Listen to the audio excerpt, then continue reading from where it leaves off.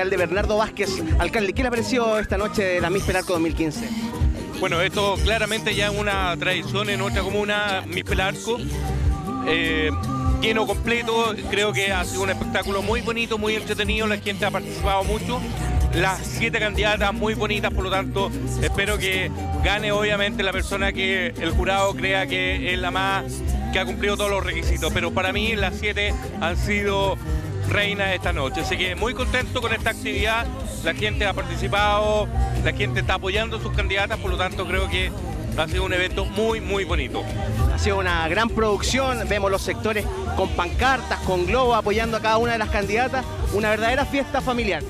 Eso es lo más importante. A mí una de las cosas que más me gusta es que efectivamente participe la familia y que los sectores también se unan con algo tan bonito como es mi pelar. Así que muy contento con esta actividad que ya es una tradición, 27 años que se está desarrollando en nuestra comuna.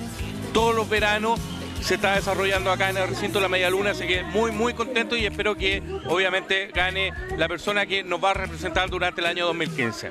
En nombre de la comunidad agradecemos y felicitamos por esta producción, por este gran espectáculo y dejamos las pantallas también para que usted envíe un saludo a todos los pelarquinos y pelarquinas de la comunidad.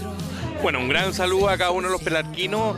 Eh, este evento se desarrolla gracias a los funcionarios municipales a la gente del Departamento de Obra, a don Boris Cabrera, que hace muchos años que está desarrollando esta actividad, por lo tanto, un gran saludo a cada uno de los pelarquinos y decirles que la candidata que salga reina este año nos va a representar en diferentes actividades como en la Virgen de Carmen, como en la fiesta de la chicha, como en tantas actividades que estamos desarrollando durante estos años. Así que muy contento y ojalá que esta actividad culmine así como se está desarrollando dentro de esta noche.